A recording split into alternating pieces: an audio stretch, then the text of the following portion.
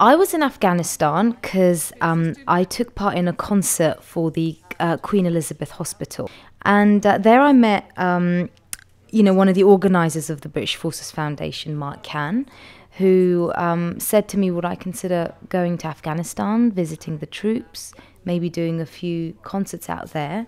And um, I don't know. I mean, to me, it seemed like the simplest and, and most obvious answer, which was a yes. This is the plane that we're going on, it's just behind me. It was quite an intense amount of traveling. It was 24 hours to get there because you have to sort of change planes and get into various different military planes. Um, we were obviously in the Helmand province. Then, once we got to the main camp, we did travel by Chinook helicopter to four different camps each day. So every night we were staying in a different military camp. Um, the first place we went to was Shawqat. Here we go. There's the bed. Not quite a tent, which is lovely. Got a little cabin type place. A few windows. Guitar is ready. You know, cool. So I've just done the gig. This was the stage.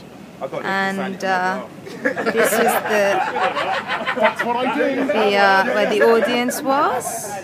The first time I got to know Afghanistan was through a book uh, an incredible novel called A Thousand Splendid Suns. And uh, I mean, it was fiction, but it was, you know, set in Kabul um, uh, about a family and just family life here. So, which, you know, and, and the way it was portrayed was pretty scary and horrible. Um, so, you know, I hope whatever's going on here, it will, um, it will really help all the Afghan people um, but in the meantime, it's just nice to be out here and, and entertaining the troops. Um, they seem to be enjoying it. I'm really having an amazing time. Okay, so this was my second night. Uh, this was now in another base camp, and this was um, this was my tent where I slept. And uh, as you can see, that's where the soldiers also slept.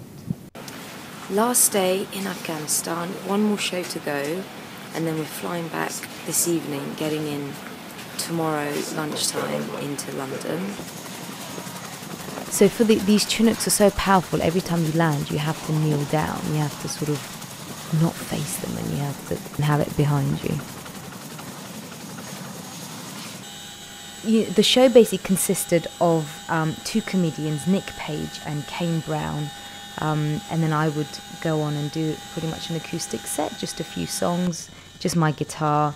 It was amazing because the PA system was basically a portable PA system that we had to kind of drag around from base to base, and it was, you know, carried from, you know, in all the Chinook rides that we did. This is a hell of a tour. I mean, I've done some tours in my time, but uh, never quite like this.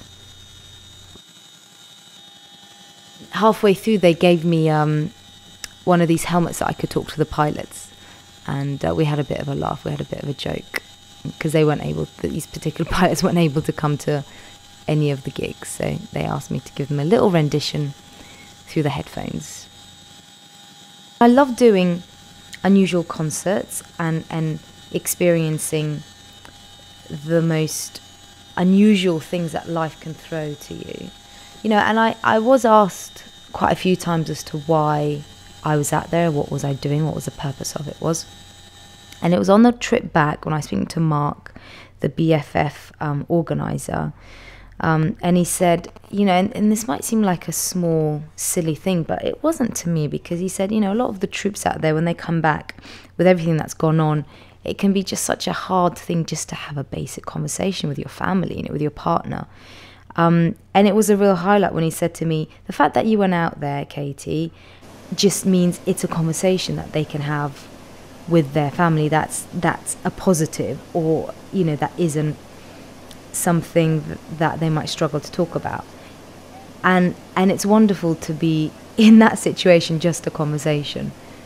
I've had a real life changing and unforgettable week and you know i don't think i will um, ever take for granted what the kind of life um, i lead and, and most people lead here in the uk